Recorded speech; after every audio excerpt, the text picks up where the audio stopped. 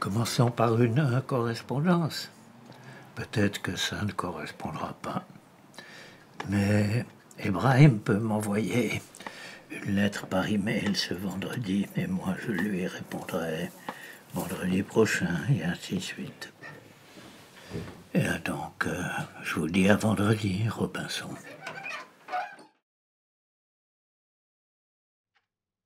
email.